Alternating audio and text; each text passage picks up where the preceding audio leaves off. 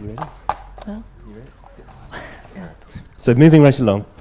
Um, Lila Moore is a lecturer at BA program in mysticism and spirituality at Zefat Academic College.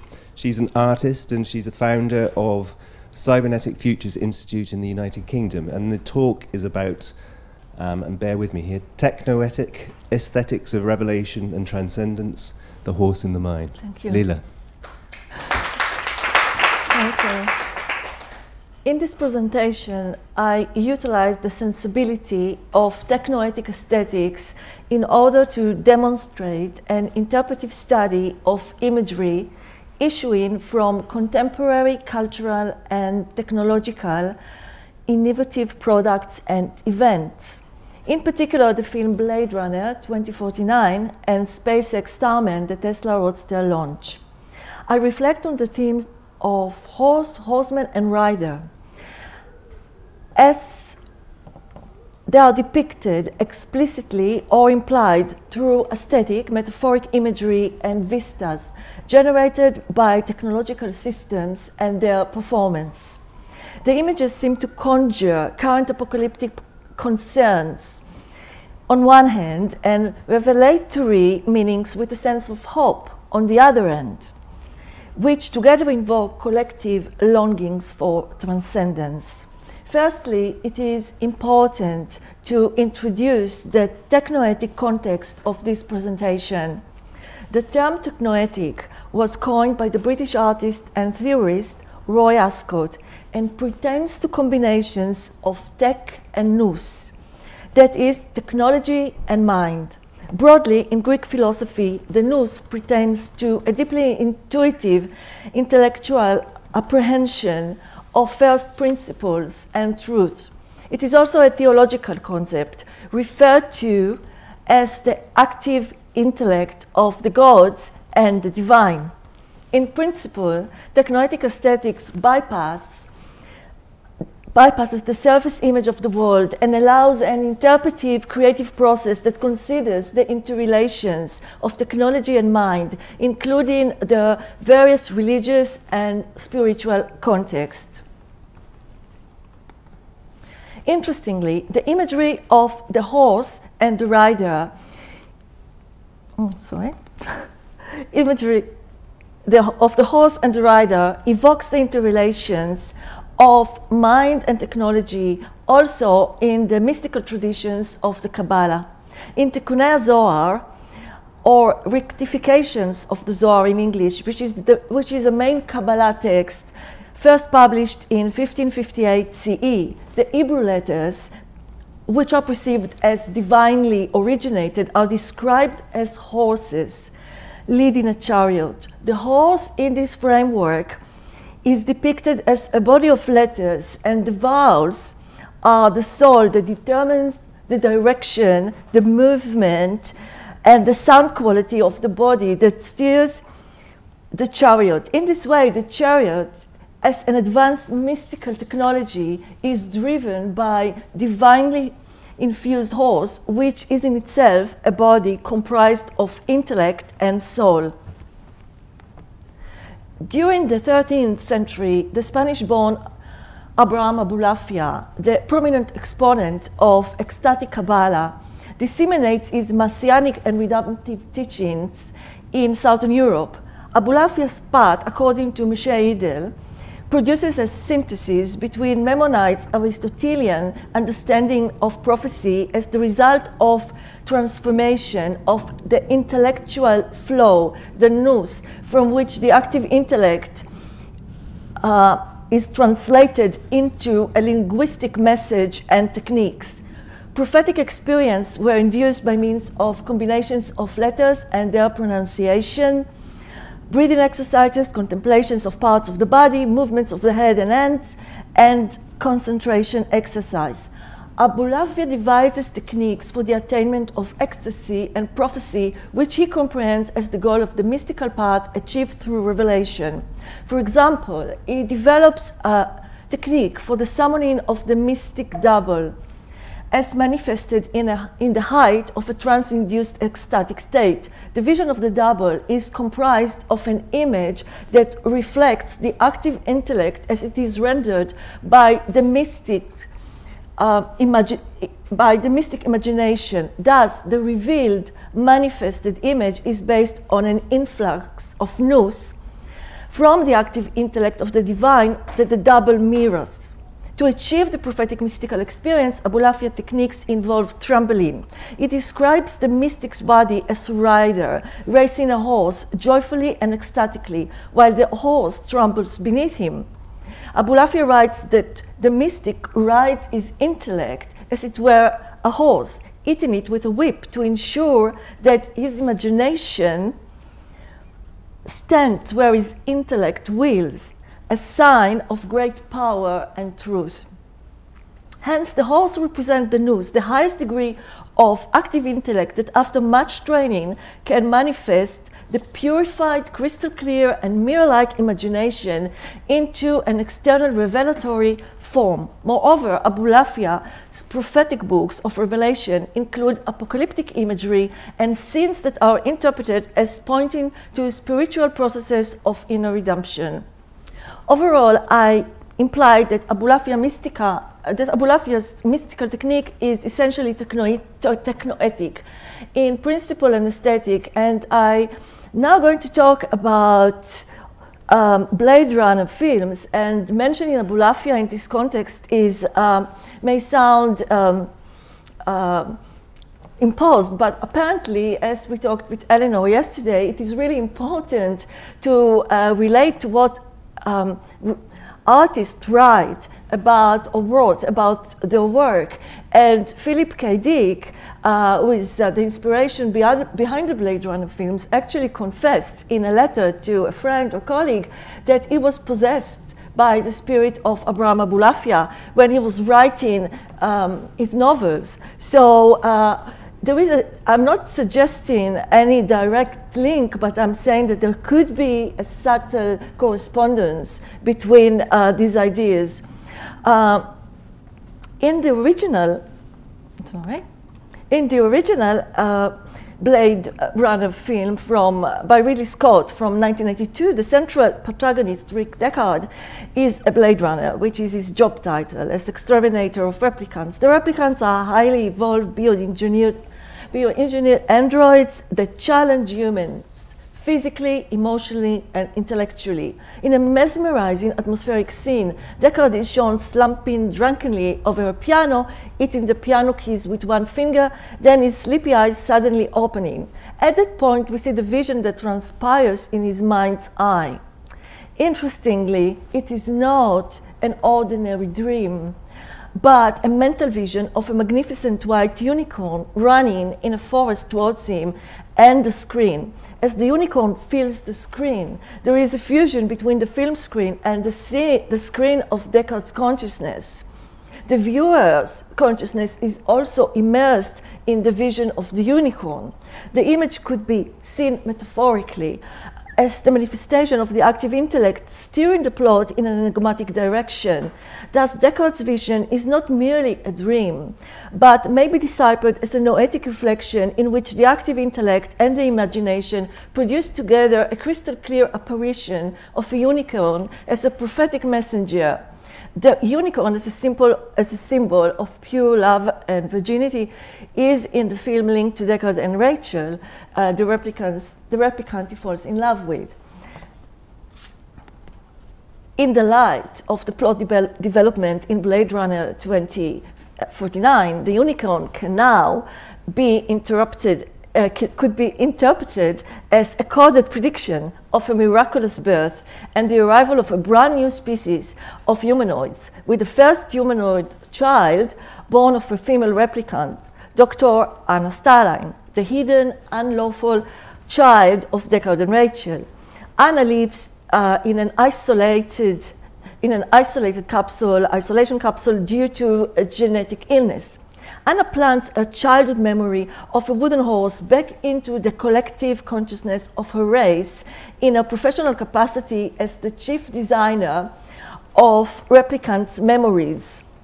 But in the case of the leading protagonist, replicant K, also a Blade Runner to whom the memory of the wooden raw horse was implanted by Anna, the horse becomes a tangible object. It is no longer only a memory, a dream, or a vision, but an actual object that exists in both abstract mind and tangible reality. In K's world, only those who are born possesses a soul and replicants like him who are manufactured artificially do not. The replicants are, uh, the replicants are psychologically sustained by artificial designer memories. However, K's memory of a horse was implanted via a transgressed act, as it is considered taboo to implant an actual memory into a replicant. This act of transgression has great ramifications. In the post apocalyptic world of 2049, humanity is being annihilated in stages, beginning with the collapse of ecosystems, followed by the breakdown of computerized system and the deletion of all digital data, and most drastically, human consciousness continues to trans transfigure through complex hybrid android life, life forms that draw on humanity's philosophical and ethical principles of the good, the true, and the beautiful. Indeed, the film ends with the words of Dr. Anna Stelline, capturing and sharing Kay's last lived memories as he absorbs the beauty of snowflakes that fall softly on earth and on his injured, dying body. Kay, who has found true and good meaning and purpose in his life, dies contemplating beauty, the beauty of snowflakes. Immersed in Kay's memory, through his experience of consciousness, Anna says, Beautiful, isn't it? In Blade Runner, the horse become a metaphor for the preciousness of conscious life, the invaluable gift of soulful memory that shapes a meaningful existence. Moreover, the horse may be perceived as a transcendent symbol belonging to a new people, both with and without a soul, in the conventional sense of the term. The soul may take on new meanings in light of the Kabbalistic motif of the horse as both body and soul, as well as the manifestation of the divine intellect. K, as the rider of his horse, indeed senses a powerful trembling. He actually trembles in the film, uh, which are associated um, with the disclosure of his true identity and destiny. Although Kay finds that he is, after all, a replicant, unborn and soulless, the horse in his mind has functioned as a technoetic device, a carrier of an installed nous and comprehension, and above all, granted him the realization, and above all, granted him the realization and the lived experience of a dimension of transcendent aesthetics of the good, beautiful, and true. What is more, the horse as a prophetic messenger of the divine intellect is also associated with a shared revelation concerning, concerning the collective destiny of K's people.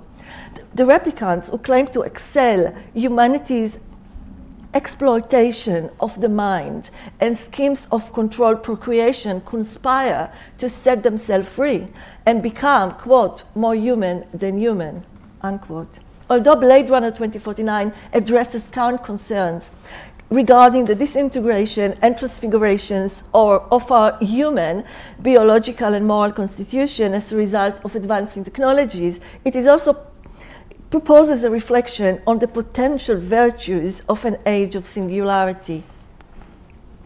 While the film viewers are immersed in Kay's last experience in consciousness in 3D, one may ponder a future not that far away where technology and nous could perhaps be harnessed to interweave and explore profoundly mystical aesthetics and revelatory visions. On February 6, 2018, over 2.3 million people came together online to watch SpaceX Falcon Heavy launch. It was YouTube's second biggest live stream ever, involving millions of concurrent, concurrent viewers. In this analysis, I focused on the aesthetics of uh, the Tesla Roadster Starman, not as an artwork, but as a cultural celestial object, as recently termed by, by NASA. The Starman is a dummy. driver dressed in a spacesuit, it occupies the driver's seat of Elon Musk's uh, electric um, Tesla Roadster electric sport cars, and, one, and with one hand on the wheel and the other casually resting on the open window while embarking on a billion years of cosmic trajectory. Basing our, our analysis on the anthropologist uh, Victor Turner's argument that a symbol can encompass contradictory meaning, Alice Gorman writes that the image of the red sports car is on one hand a symbol of elite wealth and masculinity, and on the other end a talisman against death and mortality. Yet, in the void of space and the red sports car changes its colors actually and metaphorically, it becomes an object in eternity.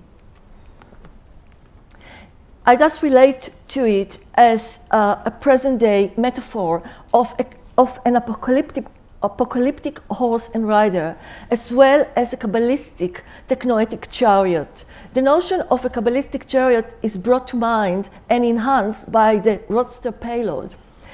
Uh, uh, in, entitled The Solar Library by the Ark Mission Library. It consists of the first of its kind storage data disks of the latest technology that are designed to archive human knowledge for billions of years. The Roadster carries ARK 1.2 that stores Asimov's Foundation series, on which the central theme corresponds with the dissemination and preservation of humanity's collective knowledge beyond Earth in the Milky Way. The significant addition transformed the car into a carrier of human consciousness or mind or sample of mind, similar to the Kabbalistic chariot that functioned as the carrier of the nous. The driver's rider is the navigator of the human imagination, which once launched into orbit is in affinity and carried by the celestial laws of the sublime intellect. Hence, whether the rider hence whether the rider is dead or alive is of no relevance at the stage of orbit in which the rider as a symbol of the intellect or the human mind becomes metaphorically poetically and spiritually transcend transcendent. The cameras on the car broadcasted to Earth directly from space a live webcast showing an awe-inspiring technological performance. The red car and the white spacesuit lost their uniformity and were immersed in and mixed with the bluish shades of the planet Earth, the radiance of the sun, and the, and the deep blackness of the void of space. Visually, the colors of the four horses of the apocalypse, white, red, black, and pale, are randomly reflected in the moving shades on the driver, rider, and the car. The object seems to subliminally, subliminally mirror our, apoc our apocalyptic anxieties, along with fears of exploitations uh, of technology. Colors in space look hyperreal and almost unbelievably sharp. Thus, for example, the red of the car and the white of the, of the rider could be intensifying the, intensifying the sensibility of masculine violence and treachery by means of war. Or as the car is gradually enveloped by the depth of blackness, the fear of emptiness may be associated with the mythic famine seen today in the depletion of Earth's resources and in consequences and in the consequences of climate change. As part of my ongoing creative practice and research in art as field of as field of consciousness, I considered uh, the, the, the mass viewing of the event, and therefore it was feasible to examine whether the event was uh, registered on the uh, Global Consciousness Network project on the random uh, generator, on the random event generator networks, which explore the interrelations of mind and technology or mind over matter. Now, interestingly, uh, the graphs of the data from the entire GCP, in short, uh, network during the two-hour period of the SpaceX launch, which were produced by Brian Williams, show a modest shift, you can see, downward, uh, away from randomness. Um, the downward trend then continue its steady descent, uh, as the graph shows, and we see an unexplained form of seemingly quantum entanglement between the timing of the liftoff and the downward shift. The aesthetics of the graph uh, triggered further reflections on the poetics of technology and mind. The rider's motion of ascent into outer space contrasts with the motion of descent on the graph, thus producing two-way trajectory as well as outward and in, inward movements. The motion of the motion on the graph mirrors the physical gap as well uh, that was growing between the viewers on Earth, which followed the celestial object online, and the latter which was leaving them increasingly behind and downward. Yet the physical gap generated a contradictory sense of noetic closeness and inward movement towards communitas, which is a state of unity best explained by Victor Turner. Downward trends in, uh, in graph produced by the GCP usually occur during large group meditation and mass prayer events. Roger uh, Nelson explains them as traces of focused intention, where people are coming together with purpose to a shared positive goal. Clearly, this graph is not intended here as proof of collective consciousness acting on technology, but it serves to aesthetically uh, highlight a valid exploration as we have seen in mystical Kabbalistic tradition, the horse and the riders are associated with the human imagination and intellectual capacity to interact with the active um, intellect. The chariot is a mystical symbol of technology that interacts with the mind. These archaic ideas are reflected in the aesthetics that currently associate the horse and the rider with electric cars, and space age technology and encapsulate humanity in indestructible disks, arcs of consciousness, nous as data sent to the cosmos. To summarize, films like Blade Runner 2049 uh, reflect current apocalyptic warning. Uh, the four horsemen appear as qualities and themes together with the horse in the mind as the transcendent intellect that compel humanity to boldly address its set of ethics, the good, the true, and beautiful.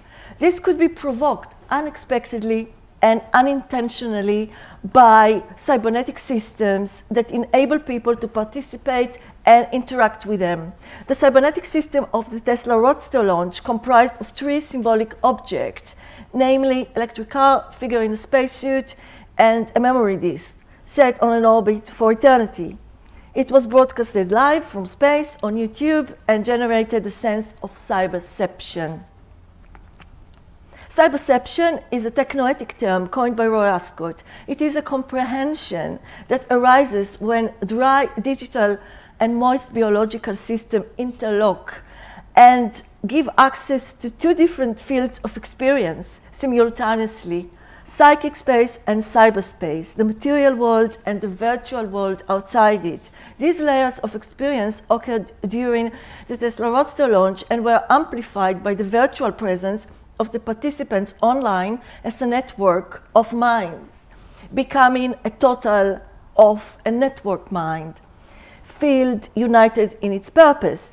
The awe-inspiring view of the slowly gliding car and the objects unearthly used produced a space-time of trans transcendence for the network mind that contemplated it. The experience of the participants involved a sense of being both in the body and outside the body as participatory mind, which is akin to Abulafia's mystical technique involving being in and out of the body at the same time. Although many online events currently induce these, these states of cyberception in random ways and unintentionally, the context, scale, and mass viewing of the, of the Tesla Roadster launch presents an opportunity to examine the aesthetics involved in technoetic terms, speculating on technoetic modes of revelation. This cultural event showcased today's performance consisting of technology and mind, which reframe and would probably continue to evolve the religious imagination and the art of revelation and transcendence. Thank you. Thank you, Leila. Very interesting. Questions for Leila? Rebecca. Thank you. That was oh, some brilliant ideas coming through there. I wondered if you could talk to us a little bit about the language or imagery that commentators about SpaceX might have used? Was that particularly mythic? Did people kind of say this was a really mythical thing that's yes, happening? Apparently, yes. And and uh, this, and actually immediately went to check it, and immediately uh, there was a, a Wikipedia page. Uh, dedicated specifically for Starman as well. Ah. Yeah, and and immediately some scholars actually reacted and wrote articles um, in different forums. I mean, I, I, guess they didn't have time to actually produce journal articles, but they already commented on um, what, I, what I actually quoted about the, the, the, the, the talismanic um, aspect of the object and uh, the, the, uh, uh the sense of um, combat against death and uh, also the political aspect. But yes, I mean, there were the, the idea of, of death and, um, and immortality and eternity, these ideas were, are already were expressed. So yes, I mean, and I was really happy to find them. Yeah. yes. Michelle. Um, I'm just going to ask about Blade Runner because it's the only thing that I really can talk about with any um, okay. interest. Could I just um, it was really interesting, by the way. That's that's why I can only deal with Blade Runner. Um, you were talking about the initial film and the unicorn motif. Yeah. And I just wondered if you could expand on that a little bit because you didn't mention that it's only in the director's cut. Um, and also in the director's cut, there isn't a voiceover. So in the original film, as uh, it, it has that neo noir voiceover. The director's cut doesn't, and it's used far more as a symbol, unless I've misread it, as him being potentially a replicant. So I wondered, I mean, it has that almost stationary, you, you've sort of brought it to life with the news, but it, the, the flip side is it's quite a static image. And actually, when it moves across into Blade Runner 2049, um, it's the same sort of almost transparent image to tell us if you're thinking about ponies, maybe something's been put in your head from the replicant bank because he gets the the folded paper from Gaff. Yes. Yes. So I just wondered if the two the tension of the two films and that addition in in the um, the director's cut. If you could just. Yeah, I, I mean the, the the director's cut is obviously very interesting, and I I, I actually uh, when I was doing the presentation considered this very specific. Um, uh, scene where uh, Deckard has this vision and I think it appears twice in the film, also in the director's cut. At It's not. There's no so unicorn. There's so no yeah, yeah. Okay, okay. So I looked at the director's cut, and uh, but it it made a lot of sense only after watching 2049 for me. Okay, because this is when I could make this speculation and these links. Before, before, before the, the, the new film, it wasn't that apparent because it, it, it wasn't clear if the unicorn actually serve any purpose. But what happens, and the continuation of the plot in 2049, the fact that, yes, it represents the bond between Deckard and Rachel, and apparently, yes, they had a child, something that was impossible because replicants usually can't have children. So it was a sense of mir miracle. And then this type of love, symbolized by the unicorn, then developed into something very real, apparently, in the second film. So this is why I actually linked both of them. And, and um, in um, have you seen 20, uh, Blade Runner 2049? Yes, yes because, uh, well, I could see a link, um, even um, a, a, metaphorical link between the unicorn and, the, and then the little pony, uh, the horse. Uh, of course, it's not the same image, but it's, uh, it's, it, it, it sort of in, evoke a sense of enchantment because the unicorn is, is very enchanting uh, idea. And although it's only in the direct, director's cut, maybe it's actually, uh, well, I don't know, inspired the, direct, the current director to, to, take, to take that image and develop it further into a horse. Clear, clear. I mean, it, clear. The, the there is that connection. It, was just that it, it's used as a metaphor for a potential him being a replicant yes. himself in the director's cut, which is you mean not, Deckard? You yes, mean, yes, of course, but, but yes, not in the original. That is not hinted no, at. No, no, no, I mean, we have we are doubting his, his, his, his identity even in the first film, and in the second film, we still wonder whether he's a replicant or not. And in a way, we do, I don't think it's very clear, but we get the sense that probably he is in the second in the second in the second film. Um, and this is why it's such a miraculous um, um, situation because because these replicants are becoming more human than human, and they, these are the, the characters in the film which uh, evoke the, these deeply bothering and philosophical questions. So yes, it started with a very small piece of paper, you know, this mannequin, but it turns into a very um, evocative, I think, object. Um, the pony is very emotionally charged in the second film, don't you think? No, no, it is. And thank you, thank you so much. Lots of interesting things to think about. Thank you. Thank you. Okay. Um, time for one last question. Natasha.